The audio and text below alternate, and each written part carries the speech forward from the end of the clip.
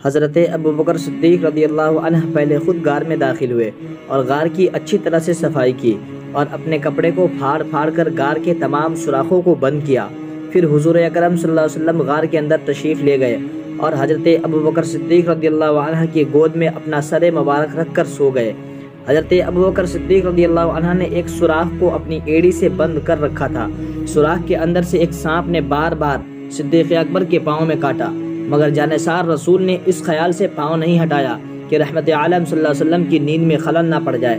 मगर दर्द की शिद्दत से सिद्दीक अकबर के आंसुओं के चंद कतरात सरवर कायनात सल्लल्लाहु वसल्लम के रुखसार पर निसार हो गए, जिससे रहमत आलम बेदार हो गए और अपने यारेगार को रोता देख कर बेकरार हो गए। पूछा, अबू बकर, क्या हुआ? अर्ज़ किया, या रसूल अल्लाह मुझे सांप ने काट लिया है। ये सुनकर हुजूर वसल्लम ने ज़ख़म पर अपना लुआब दहन लगा दिया। जिससे फ़ौरन सारा दर्द जाता रहा। हुजूर अकदर तीन रात तक उस गार में रौनक अफरोज़ रहे। हज़रत अबू बकर सिद्दीक के जवान फर्जंद।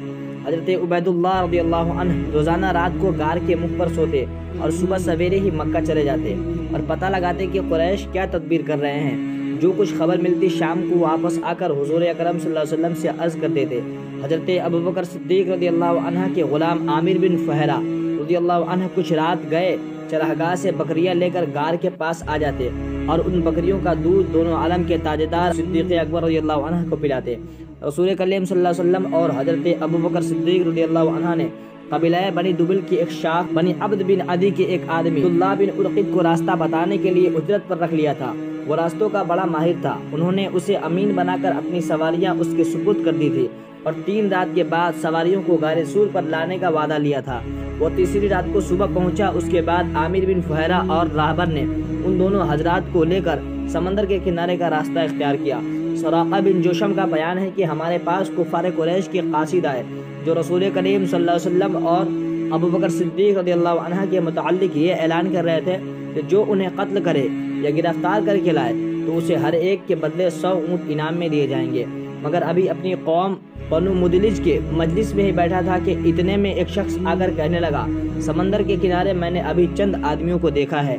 मेरा ख्याल है कि वो मोहम्मद वसल्लम और उनके रफ़ा हैं। सराका ने कहा कि ये सुनकर मुझे यकीन हो गया, ये वही लोग हैं। लेकिन फिर मैंने बात बनाते हुए कहा कि, नहीं, वह लोग नहीं हैं। बल्कि मैं उन्हें देखा, मैंने उन्हें देखा है कि वह फला फला हैं। अभी अभी सामने से गुजरे हैं। थोड़ी देर बाद मैं मजलिस से उठा, अपने घर गया और बांदी को हुक्म दिया कि मेरे घोड़े को फला डेले के पास ले जाकर के मेरा इंतज़ार करे। और मैं नेजा लेकर अपने मकाम के पीछे से निकला और उसके फल को नीचा किए हुए ज़मीन पर लकीर खींचता हुआ चलाता के कोई देख ना सके।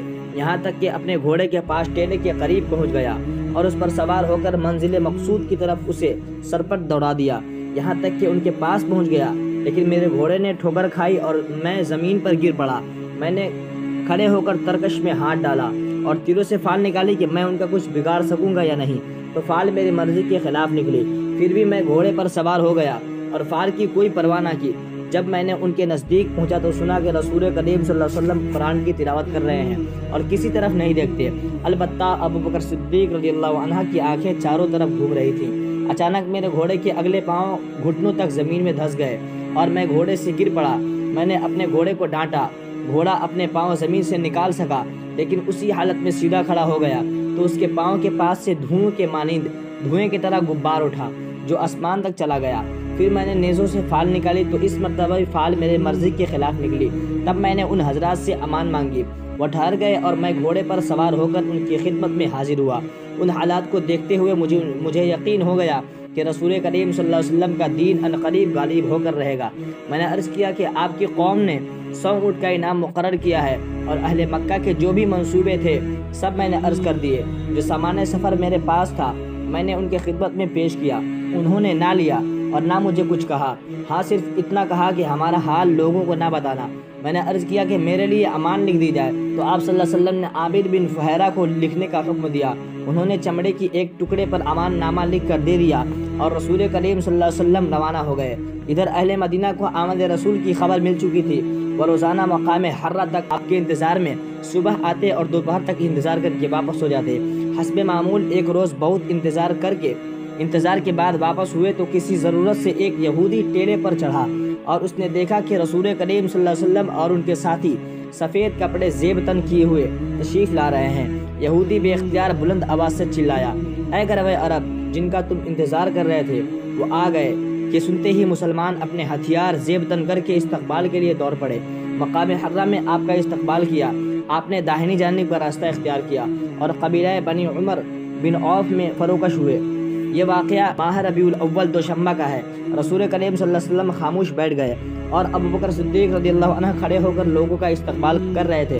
हजरात अनसार में से जिन लोगों ने नबी करीम वसल्लम को नहीं देखा था वह सिद्दीक अकबर रदी को ही सलाम करते, जब आकाए कायन वसल्लम के ऊपर धूप आ गई। तो अबू बकर सिद्दीक ने आपके ऊपर चादर तान कर साय कर लिया। उस वक़्त लोगों ने खादी मखदूम में फ़र्क महसूस किया और रसूल करीम वसल्लम को पहचाना। आपने मकाम खुबा में चंद रोज़ क़याम फरमाया और एक मस्जिद की बुनियाद रखी। फिर मदीना तशरीफ़ लाए और हज़रत अबू अयूब अंसारी रदी अल्लाह के मेहमान हुए और अबू बकर सिद्दीक रदी अल्लाह ने हज़रत खारजा बिन जैद बिन अबी जुहैरा के मकाम पर इकामत फरमाई।